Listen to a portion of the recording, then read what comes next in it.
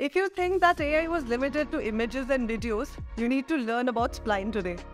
Spline is a friendly real-time collaboration 3D design tool and resolves your goal of creating 3D in no time. For trying this out, visit the website spline.design/ai and you will hear generate objects, animations and textures using prompts. Once you log in, you can go through the online tutorials to understand how you can use it for particular purposes and even find video examples like 3D icons, candy letters, products, etc. For you to start, you can begin with a new file or import your file from the source. Once you do that, the 3D creation world is all yours.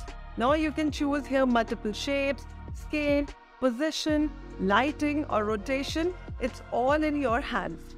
A number of options you can find to make the best of the show, after which you can just export or share the design and it's all done.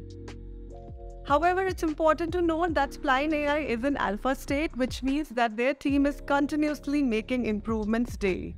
The waitlist feature you can see at the website allows them to learn from your early feedback so that they can improve it and make sure that the experience is high quality for everyone.